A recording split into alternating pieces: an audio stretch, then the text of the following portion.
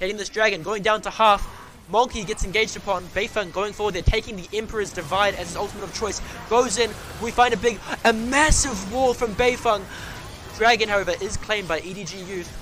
Big fights. Health bars are going down. Solo kill. Struggling to die. Healing so damn much. Full health Aatrox. He was barely 200 just before. Is able to find the kill on Beifeng. Will heal up so much more. Bailout active again. Is this a pentakill here? For solo kill. And that's